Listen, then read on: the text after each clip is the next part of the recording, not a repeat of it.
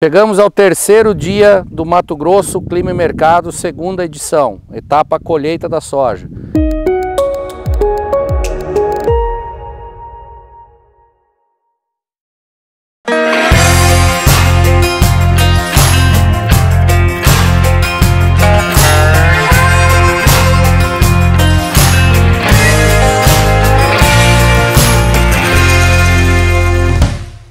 Saímos cedo de Alta Floresta, né, translocamos até Porto dos Gaúchos e estamos nesse momento às margens da MT 338, onde a gente já pode ver uma lavoura e outras lavouras que a gente passou numa condição diferente daquilo que nós vimos ontem, né, Ontem, naquela região mais ao norte, a gente viu é, lavouras mais bem estabelecidas, uma soja mais bem desenvolvida, com uma expectativa de produtividade um pouco melhor, né? Ainda abaixo das expectativas iniciais, mas melhor. Nesse caso, a gente já está numa lavoura onde vê que essa, essa área sentiu muito a estiagem, né? a soja está com um porte muito baixo, ela não se desenvolveu e também percebe que o, exatamente por esse fator de estresse hídrico e do lento desenvolvimento da soja, o controle de plantas invasoras é, foi muito precário, foi muito ruim. Ele não teve efici eficiência. Essa aqui, ó, a vagem com grão, que chegou na maturação, né? E na mesma planta aqui, ó, vagens totalmente verdes que a gente tem até dificuldade ainda para abrir, porque ela ainda está ligado, né, à planta. Então você vai ter uma desuniformidade. Esse grão aqui ele já está sofrendo dano com as chuvas que acontecem no momento nele. E esse aqui ainda está se alimentando, ainda está vegetando. Então ele vai ter um intervalo é, de, entre os dois, digamos que, o, que esses verdes cheguem para ficar pronto, é, esse aqui já vai ter se deteriorado. Então é uma condição que afeta também a planta nesse momento de crítico aí de adversidade climática relacionada à seca. Estamos aqui em Porto dos Gaúchos, né, no escritório da, do grupo SCX, né, com o seu Volmir Scheffler. É, seu Valmir, é, como que transcorreu a safra para vocês aqui na região de Porto dos Gaúchos, né? É, produtividade da soja, como que ela está saindo? É, boa tarde. Olha, é um ano muito complicado, né, que a gente está passando, né, o estado do Mato Grosso está bem sofrido com o do clima, né, a seca. É, nós Esperávamos é, uma produtividade a princípio, mas não está chegando a dar. Vamos dizer, nós estamos com uma média de 20, está no meio da safra ainda, a gente pode achar que pode diminuir como pode aumentar, vamos dizer, mas estamos hoje em torno de 20% menos de colheita, né? De produtividade. Então, assim, preços também está sendo um problema seríssimo, né, para nós, né? Para todos uhum. os Mato Grossenses, né? Nada está ajudando, o mercado não está ajudando, a produtividade não está ajudando. Você vai para um, um lado de, de bancos também, os juros estão altíssimos, então está ficando complicado. Um cenário muito um difícil. Um cenário pro agrícola nossa aqui da região. Nós conversávamos agora há pouco que mesmo é, não tendo, digamos, uma estiagem tão severa na propriedade do senhor, que aparentemente não tinha afetado tanto, é, mesmo assim uma redução de 20% do que o resultado que o senhor esperava. Positivo, positivo. Então a gente achou que até não ia dar essa queda, porque nós fomos abençoados assim por umas chuvas a mais que deu, pegou regiões, mangas e chuva a mais. Uhum. Mas assim mesmo a aparência está até mais ou menos boa, mas o grão está pesando, não está produzindo o que a gente até achou que podia chegar a produzir. Efeito de alta temperatura e todas aquelas circunstâncias interferiu no resultado. Né? E com essa uh, situação agora da, da, da, soja chegando à colheita, como que está a perspectiva do senhor para a segunda safra de milho? O senhor mantém a mesma área que o senhor cultivava nos outros anos, reduz? Não, é, o milho até foi comprado para fazer 80% das nossas áreas, uhum. é, mas diante do cenário de preços também, que a gente tem que sempre ver o, a viabilidade do plantio e também essas previsões de, de seca que pode continuar, é, mesmo tendo chovido agora, mas não tem previsão de, de chuva para frente. Então, assim, vai ser plantado em torno de 55% a 60% da área de milho. Mesmo tendo comprado todos adubo, semente, vai ser deixado para o próximo plantio essa, esses materiais aí que não, não tem viabilidade de plantio. A decisão é não, não investir tão forte no milho por causa do cenário econômico. Positivo. Até a adubação vai ser, vai ser reduzida, é, porque não tem a viabilidade de, de você investir onde é que você não vai ter retorno. Então vai ser um plantio para passar o ano, para ver melhores para frente, né?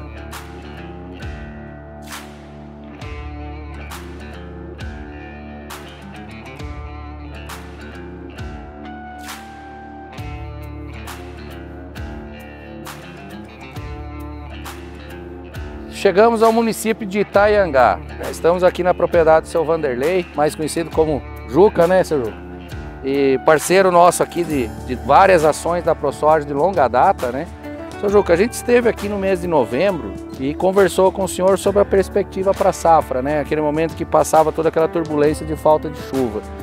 Agora a gente está aqui e a área está sendo colhida. Como que transcorreu de lá para cá e como que está o resultado do senhor? Oh, agradecer à ProSoja pela presença aqui e, e, boa tarde aos produtores, né? Estou colhendo uns 40% a menos. 40% abaixo da expectativa. Da expectativa. Faltou, faltou água, faltou tudo. Né? E assim, eu usei todo, fiz todo o protocolo, todo o protocolo de, de, de para inseto, para de, de fungicida, todo o protocolo. Que tem produtores que, que Uh, acabaram uh, não usando uma de fungicida, por exemplo, ah, porque o sol está matando, está tá acabando com a lavoura. Eu fiz todos os protocolos. O senhor manteve o investimento Sim, previsto? Inclusive, gastei mais produto esse ano do que ano passado. muito inseto agora, principalmente a mosca branca, está tá judiando. Esse é um outro ponto importante, né? Quando retardou o plantio, a gente tem visto isso em várias regiões. Isso. Que a pressão de mosca branca e de outras pragas agora com a colheita das primeiras áreas tem sido muito maior do que o normal. Né? Tem. Mas é isso aí, né? Vamos, vamos batalhar. Vai ser um ano bem complicado. Não se paga as contas.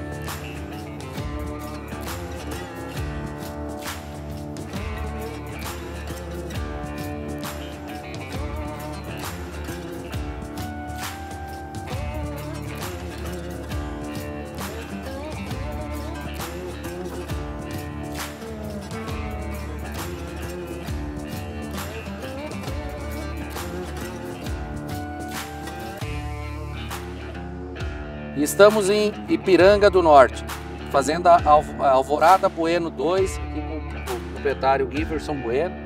É, Giverson, estivemos aqui em novembro né, e conversamos sobre perspectivas da safra. Né? Agora, já muito disso se consolidou. Como está o teu resultado até o momento? Como está indo a colheita? E como que está os resultados em relação ao que você esperava para essa safra? Então, ah, logo depois vocês fizeram a visita em novembro, logo no começo de dezembro tivemos uma sequinha de 15 a 18 dias.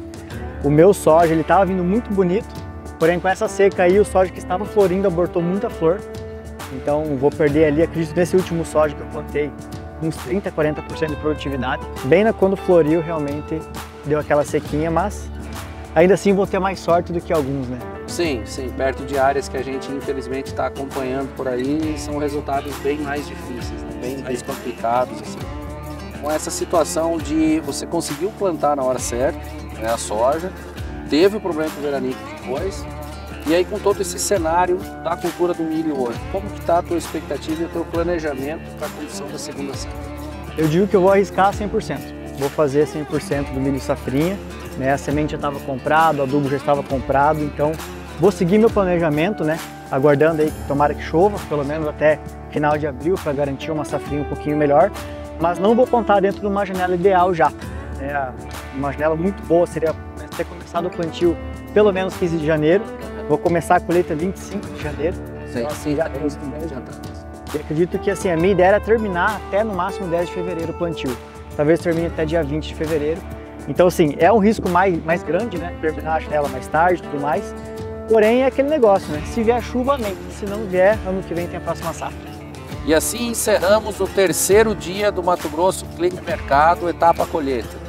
Saímos logo cedo de Alta Floresta, né? nos deslocamos até Porto dos Gaúchos, passamos por Itaiangá, chegamos em Ipiranga do Norte agora, e nesse é, deslocamento a gente pode ver condições bastante diversas, né?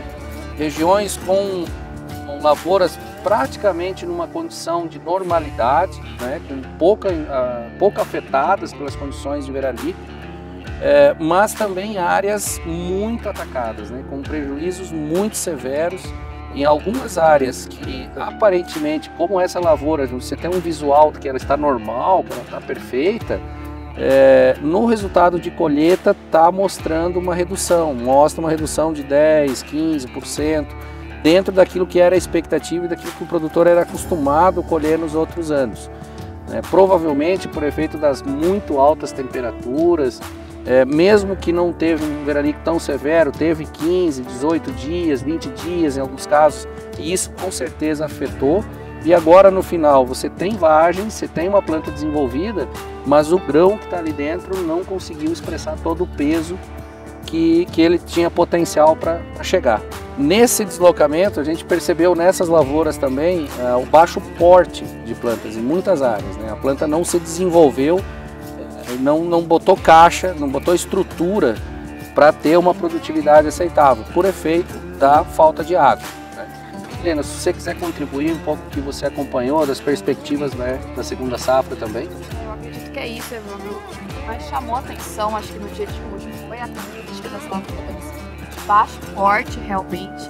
É, não como essa, né, que a gente está aqui no meio, a gente está observando. Realmente é essa região um pouco mais afetada talvez do que a norte que a gente estava ontem. E o que chama atenção realmente então é a perspectiva aí de redução da área de milho. Alguns produtores conseguiram colocar dentro da janela ideal a soja, né, consequentemente vai conseguir dar uma apertada um pouco a mais no milho, vai conseguir encaixar, mas a maioria nos relatou que vai ter uma diminuição de área de milho.